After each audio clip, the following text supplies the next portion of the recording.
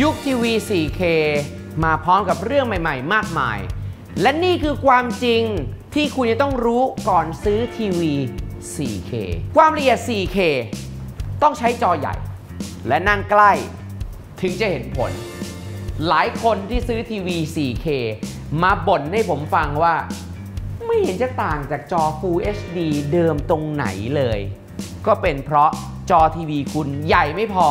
หรือไม่คุณก็นั่งไกลเกินไป โน่นเลย มองใกล้ก็ชัดดิเราขอข้ามหลักการทางวิทยาศาสตร์ไปเลย แล้วสรุปให้ฟังว่า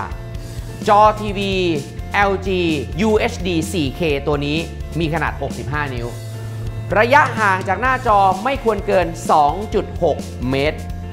ถ้าเกิดว่าจอนี้เล็กลงเป็นจอ 55 นิ้ว ระยะห่างจากหน้าจอไม่ควรเกิน 2.2 เมตร แต่ถ้าจอนี้เป็นจอ 4K แบบ 50 นิ้ว ระยะห่างไม่ควรเกิน 2 เมตร คุณถึงจะเห็นผลความคมชัดละเอียดและคมที่สุดในความรู้สึกแบบ 4K งานนี้ใครมีห้องดูหนังเล็กๆ ได้เปรียบ ไม่ต้องซื้อจอใหญ่บึ้ม คุณก็เห็นผลแล้ว แต่คำแนะนำที่ง่ายกว่านั้น คือให้คุณซื้อจอ 4K ที่ใหญ่ที่สุด เท่าที่คุณจะวางในห้องได้ และงบคุณถึง ถ้าเกิดว่าจอใหญ่กับเล็กที่คุณเห็นอยู่นั้นต่างกันไม่กี่พัน ให้คุณกัดฟันซื้อจอใหญ่สุดไปเลย เพราะนั่นจะเป็นประสบการณ์ 4K ที่ดีกว่า ตอนนี้เทคโนโลยี OLED มาแรงที่สุด เพราะว่าให้ contrast มากที่สุด แถมที่สำคัญให้มุมมองภาพที่กว้าง และก็ไม่มีปัญหา motion blur และมันก็สมกับราคาที่อยู่ในระดับท็อปของมัน แต่ถ้างบคุณไม่ไหวอะ จอ 4K LED แบบด้านหลังนี้ก็ยังไหวอยู่ครับ เพียงแต่คุณต้องเลือกให้เหมาะสมกับการใช้งานในบ้านของคุณ เลือกยังไง เอาเลนส์มาโครมา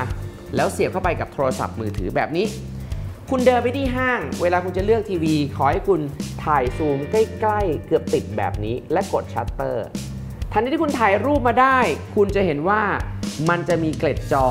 ถ้าเป็นลูกศรแบบนี้นี่คือจอ IPS จอลักษณะนี้มีคุณสมบัติก็คือ สามารถให้มุมมองที่กว้าง แล้วก็เหมาะกับการวางไว้ในห้องสว่างแต่ถ้าเกิดว่าเกล็ดจอ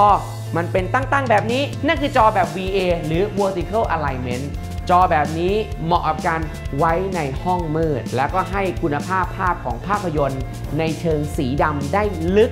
มากกว่า แต่สมาชิกในบ้านดูกันหลากหลายคนจากหลากหลายมุมมอง เห็นสีไม่เท่ากันฮะ จอ LED แบบ RGBW เป็น 4K เก๊งั้นเหรอ ถ้าใครติดตามข่าวในวงการจอทีวี LED จะมีกระแสที่ว่า RGBW เป็นจอ 4K แบบเก๊และถ้า RGB เฉยๆ เป็น 4K แบบแท้ ฮะ มี 4K เก๊ 4K แท้ งงสิ มาลองฟังความจริงกันดู ฟังครับฟัง คืองี้ครับ แต่ละจุดที่เรามองเห็นบนจอทีวีเนี่ยเขาเรียกว่าพิกเซล ทีนี้ 1 พิกเซลมันเกิดจากพิกเซลย่อย 3 แม่สีรวมกัน นั่นคือ red green blue ถึงเรียกว่า RGB ไง ทีนี้ 3 พิกเซลรวมเป็น 1 ตามแนวนอน 3,840 พิกเซล ตามแนวตั้ง 2,160 พิกเซล เมื่อเข้าสูตรคูณกันแล้วเท่ากับ 8.2 ล้านพิกเซล ก็แปลว่า 4K ส่วนจอแบบ RGBW หรือที่เรียกอีกชื่อว่า M+ คือการแทรกพิกเซลสีขาว ย่อยเข้าไปอีกกับ RGB เดิม W คือ White ฉะนั้นหมายถึงว่าการเข้าสูตรแบบ 3 พิกเซลเท่ากับ 1 พิกเซล ตามแนวนอนคือ 3,840 พิกเซล และตามแนวตั้งคือ 2,160 พิกเซล ก็เท่ากัน 8.2 ล้านพิกเซลเหมือนกันทั้ง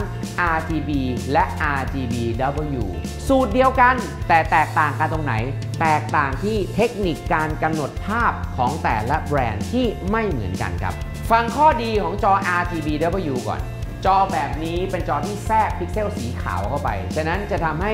จอนั้นสว่างขึ้น แล้วก็กินไฟน้อยลง ในขณะเดียวกันมันเหมาะกับการเอาไปเล่นภาพแบบโหมด HDR ที่กำลังฮิตอยู่ตอนนี้ เพราะว่ามันสามารถดึงความสว่างของภาพขึ้นมาได้อีก ส่วนข้อเสียเปรียบของจอ RGBW ที่ไม่เท่ากับจอ RGB ก็คือความสด ของสี ซึ่งตรงนี้ผู้ผลิตจอ RGBW เขาก็พยายามคิดค้นชิปประมวลผล แล้วก็โปรแกรมในการที่จะปรับแต่งทำให้คุณภาพของภาพเนี่ยออกมาดีมากยิ่งขึ้น จนทำให้ปัจจุบันนี้ เรามองเทียบด้วยตาเปล่า แทบจะไม่รู้สึกเลย เอาเป็นว่าเวลาเลือกซื้อจอให้คุณเลือกจอที่คุณดูและชอบที่สุดดีกว่าครับ